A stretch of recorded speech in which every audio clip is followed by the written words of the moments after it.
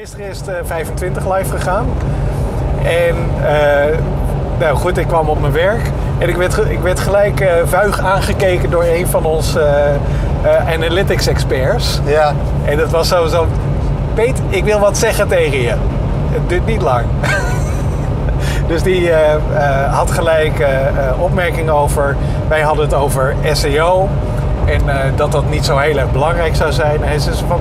Nou, voor grote bedrijven is SEO misschien inderdaad iets wat erbij, eh, wat erbij hoort, maar niet zo heel erg belangrijk is. Maar voor hele kleine websites kan het wel eens het verschil maken tussen wel en niet bezocht worden. dus voor kleine start-ups of merken die net eh, neer worden gezet of wat ook. Dan kan CA, het inkopen van advertenties, maar vooral ook SEO, optimalisatie van content, ja. Eh, die kan best wel het verschil maken. Jawel, alleen ik vind SEO, vind ik, weet je, noem het gewoon content optimalisatie. Ja, precies ja. Dat is al gelul. Het is, het is niet... Zoek, het staat voor Search Engine Optimization en Search Engine Marketing. Ja. Wat een onzin. Vind ik echt. Vind ik echt. Sorry Tim. Ja. Ik vind dat je fantastisch werk doet, maar dat meen ik ook echt. En ik vind ook uh, uh, analyse van gegevens vind ik echt nuttig en dat is goed werk en daar hebben we wat aan. Alleen het naampie is misleidend en dom. En doordat je je alleen maar richt, dat naampje, die zorgt ervoor dat we ons concentreren op uh, zoekmachines. En dat moeten we niet doen. Ja. Zoekmachines worden steeds minder interessant en juist mensen zijn interessanter. En ja, mensen gebruiken zoekmachines, dus daar moet je ook rekening mee houden. Maar het is een van de hele vele dingen waar je rekening mee En dat is precies, dank je, dat is exact wat ik zei. ik zei vooral van, weet je, het totaalpakket er is. En wat, wat ik dus nog extra meegaf, was er van er zijn een heleboel SEO-specialisten die ook online marketeer zijn. Ja. En marketeers zijn bizar goed om dingen te marketen. Verrassing!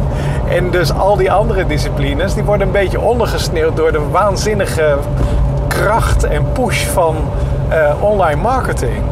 En, dat, is, en, dat, en dat is heel erg schrijnend. Want dat betekent dat uh, goede fotografie, aantrekkelijke uh, teksten schrijven, mooie video's maken. Dat zijn allemaal ondergeschikt aan een, uh, iets wat er gewoon bij hoort. Weet je wat interessant is aan SEO?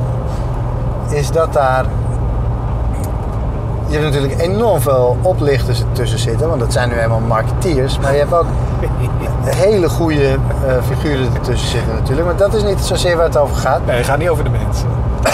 de, uh, er komen hele, zijn hele goede dingen uitgekomen bijvoorbeeld toegankelijkheid, dat kregen we er maar niet in in Nederland. Er was niemand die geïnteresseerd was in toegankelijkheid. Nee. Er moesten wetten voorkomen om het verplicht te maken. En zelfs toen gingen mensen lijstjes afvinken om ervoor te zorgen dat ze er maar aan voldeden. Ja. Er was niet van, oh we moeten een website gewoon toegankelijk maken voor iedereen. Omdat dat nu eenmaal kan. Ja, precies. Weet ja. je wel, dat was een, terwijl dat het natuurlijk zou moeten zijn. En, uh, het is eigenlijk nadenken over de zoekmachine optimalisatie, die, had, die een heleboel van de dingen die wij, heel veel van de best practices die je moet doen om een site toegankelijk te maken, die zitten ook in technische zoekmachine optimalisatie. Ja. Dus dat is grappig. En voor toegankelijkheid kreeg ik nooit een cent. En toen noemde ik het SEO. En toen was er ineens heel veel geld voor. Ja, precies, ja. Ja, en, hetzelfde er geldt zitten ook nu, hele andere budgetten aan ook vaak. Hetzelfde geldt nu ook, weet je. Google zei op een gegeven moment, houd toch eens op met uh, het optimaliseren voor machines. En ga nou eens gewoon voor mensen optimaliseren, want dat is wat wij willen.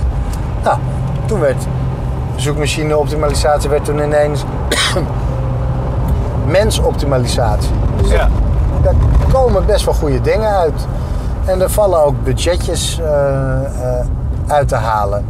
Dus wat dat betreft zou je het natuurlijk kunnen misbruiken of gebruiken om echt goede dingen te maken. Maar je moet er heel goed op letten dat je werkt met mensen die het ook snappen. Dat je mensen, zoekmachine optimalisatie mensen hebt die breder kunnen denken dan alleen maar machines en ja. robots.